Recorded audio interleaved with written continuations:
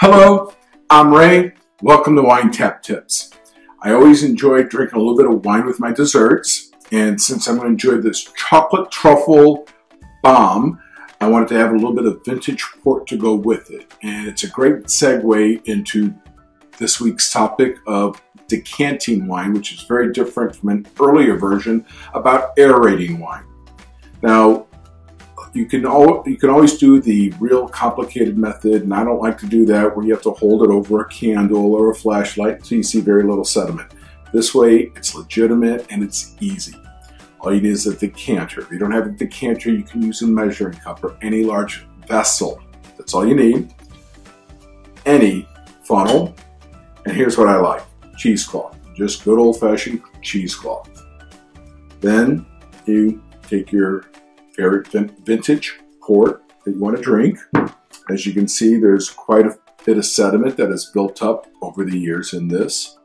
This is a 10 year old port, and all you do is pour this through the cheesecloth and let it go. Now, one of the things that I really enjoy about using this cheesecloth is that on more than one occasion with older wines, you will find that the cork will disintegrate on you.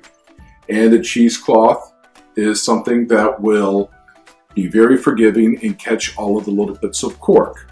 So when you're done, you will see, like, for example, all of this in the bottle.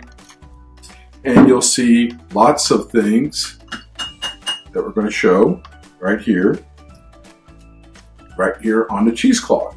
So then all you have to do is pour your port into the glass. Now, if you're going to serve this to some friends, what, what are the so if you're going to serve this to your friends, or you don't finish the whole bottle, I recommend that you just simply rinse your bottle out with water until it's clean, and then you just use your same funnel and pour the port back into the bottle, and you can recork it. Keep it in the refrigerator. It'll last a couple months, uh, hopefully you go through port a lot faster than that. Don't forget to like us on Facebook and follow us on YouTube. I'm Ray. Thank you for joining us. And here is to living the wild wine life.